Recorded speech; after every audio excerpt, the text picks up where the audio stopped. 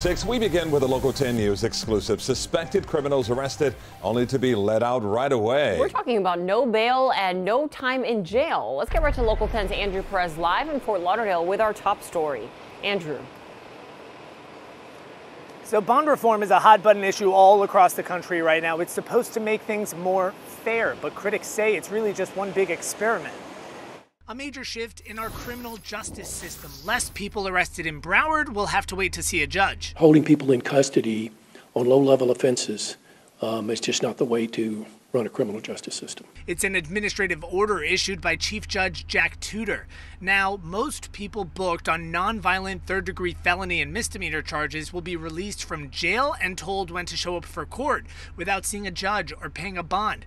Chief Judge Tuter says it wasn't fair that just because you had money, you were able to get out. And I saw a great disparity between especially minority communities who did not have the money to post a convenience bond and often had to sit in jail on low level, uh, non public safety type crimes. It's playing tag. He's making police officers play tag with criminals. No surprise, bail bondsmen are angry. This order clearly affects business and they say removes accountability.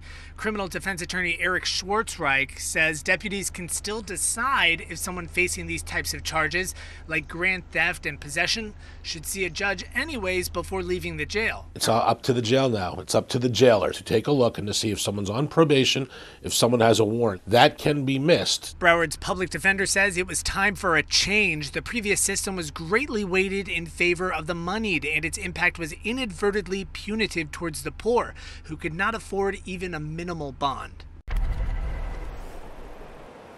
This new order, it was a big collaborative effort. The Broward Sheriff, the State Attorney's Office, the Public Defender's Office here in Broward, they all had to sign off on this.